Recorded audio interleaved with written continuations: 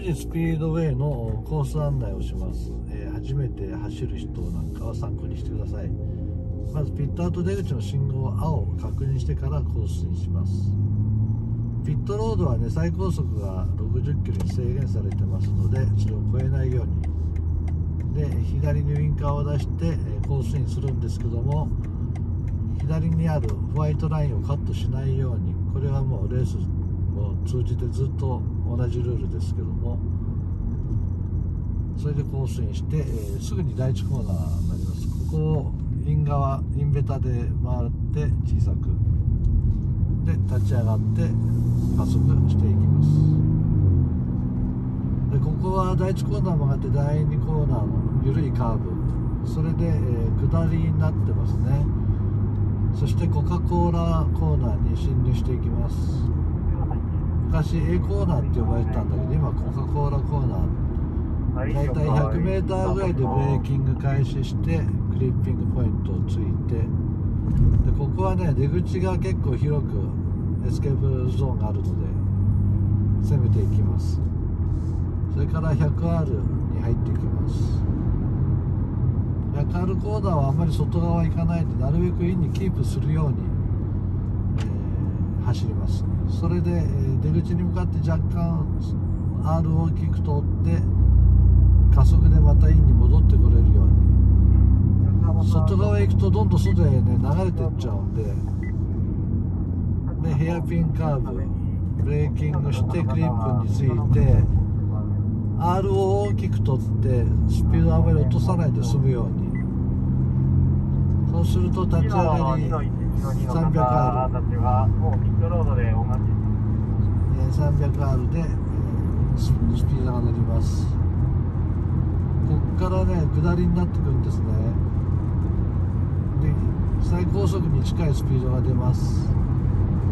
下りなんでブレーキングも気をつけないと不安定になります。大体このダンロップの看板の手前ぐらいからブレーキング開始してシフトダウンもしていきます。でこれダンロップ試験員2つのクリップを確実に取って車の姿勢を乱さないようにこの上り坂に向けて後輪でうまくトラクションかかるように立ち上がってきますね。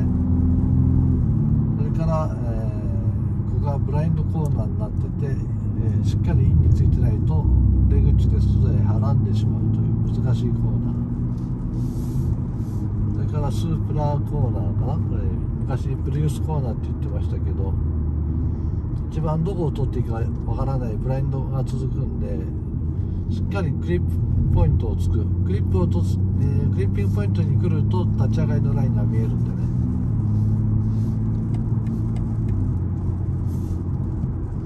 で最終コーナー。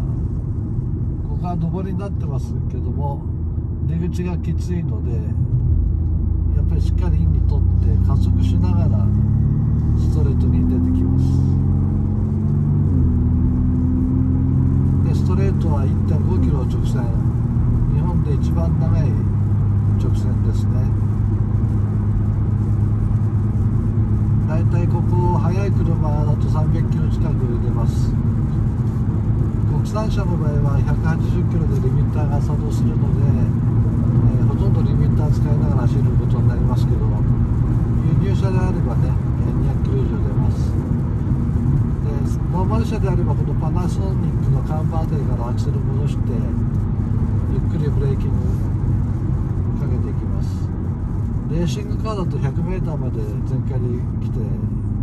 瞬時にブレーキを落とすことがになりますけどもで1コーナークリップをしっかり取って立ち上がりながら加速で2コーナーにめがけて直線的にライン取りしていきます。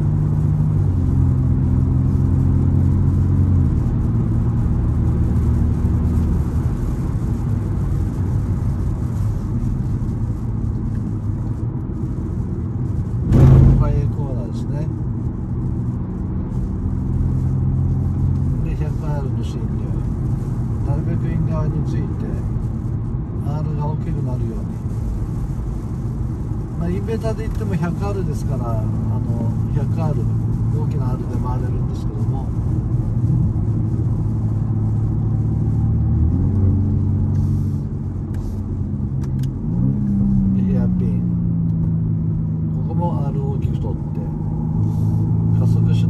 ち上がる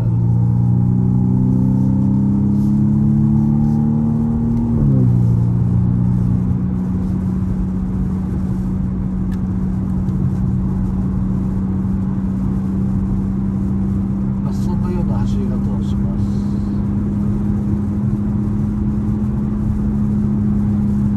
でブレーキングなんですけど一度に踏まずに何回かに分けて踏むといいですね。手前で1回ダブペダルをダブってブレーキが異常ないかどうか確かめるということも大事です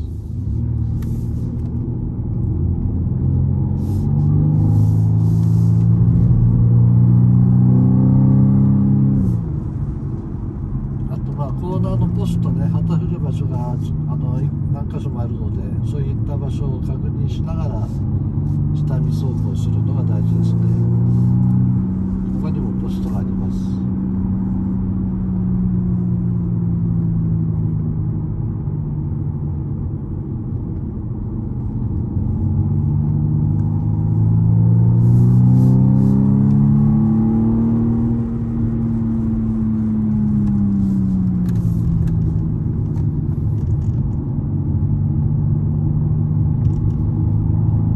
また最終コーナー回って直線に戻ってきます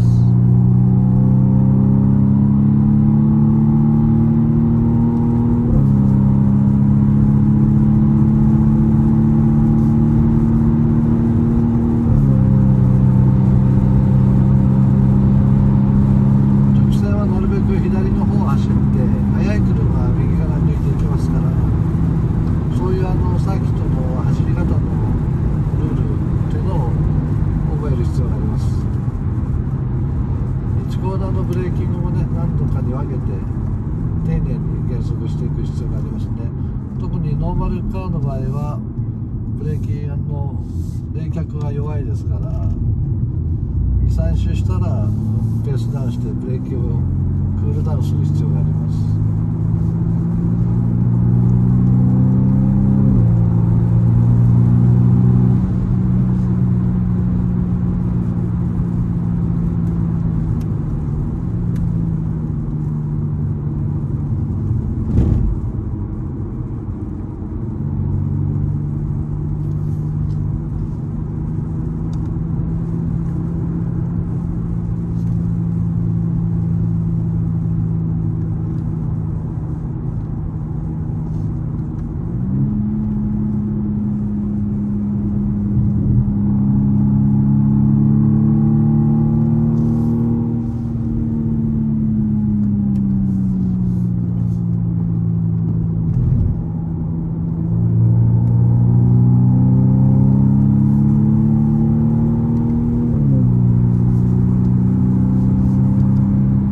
えーここは 300R って言うんですけど大体どんな車でもね全開で行けるんですけどこ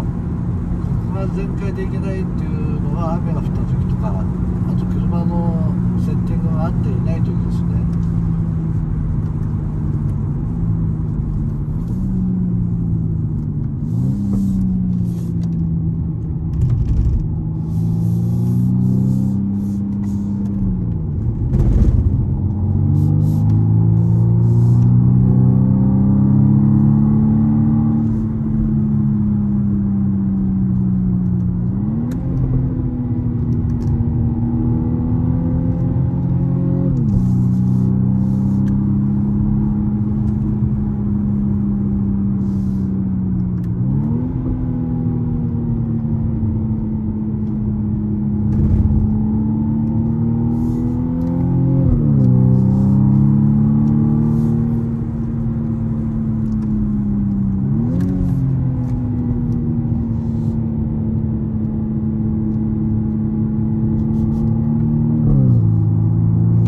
ではこれでピットに入戻りますピットインするときは最終コーナー立ち上がったら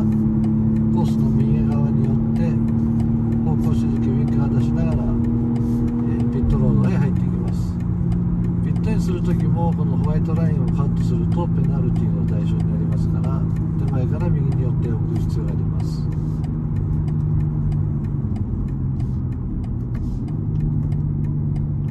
でピットロードは60キロで進みます